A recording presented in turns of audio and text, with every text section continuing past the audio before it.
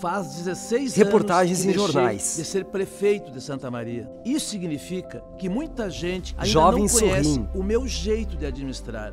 Acho que essa é uma oportunidade para me conhecerem melhor. Mas eu sei que Letreiro, você pode estar pensando no construção futuro, do plano de governo de participativo, vida do povo com apoiadores. É por isso que Fotos de Valdeci para você prefeito. conhecer o que fiz, o que iremos fazer para que Santa Vídeo num Maria seja mais justa e mais feliz. É Valdeci, Farré e você. Vote 13.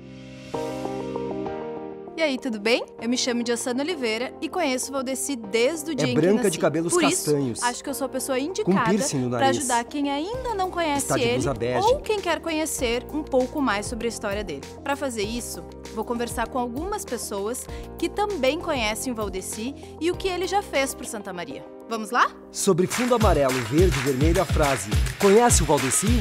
Fotos de Valdeci em momentos da vida Sueli política. Barrios, tudo bem? Conta pra gente. Tu conhece o Valdeci? Numa claro que eu sala. conheço o Valdeci. Quem Legenda, não lembra Sueli, do enfermeira Valdeci reinaugurando a Casa de Saúde, Sueli é implantando o. PA do patronato, a unidade de saúde do Itararé, a unidade de saúde de Camobi, serviços de saúde mental e tantas outras ações que mudaram a vida das pessoas da nossa cidade, né? Melhorou a qualidade de vida e o cuidado à saúde a partir da implantação de uma série de atividades e ações do prefeito Valdeci. Valdeci A Sueli larga o é uma amiga muito querida É branco e uma grisalho. profissional de primeira qualidade. Ela testemunhou Ele as realizações que alcançamos junto Usa com os blazer servidores da saúde, quando estivemos Valdeci à frente gesticula. da prefeitura. Mas agora é preciso dar novos passos, porque algumas coisas estão estagnadas. Nós precisamos urgentemente aumentar as equipes da estratégia da saúde da família, que é uma ação preventiva,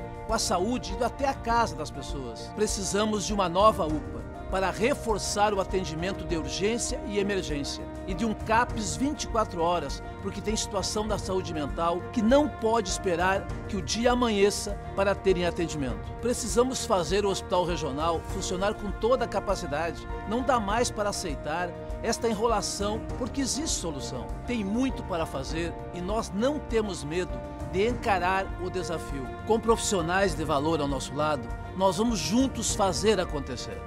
É Valdeci, Farré e você. Vamos juntos 13 Santa Maria. coração Vote 13. pulsante.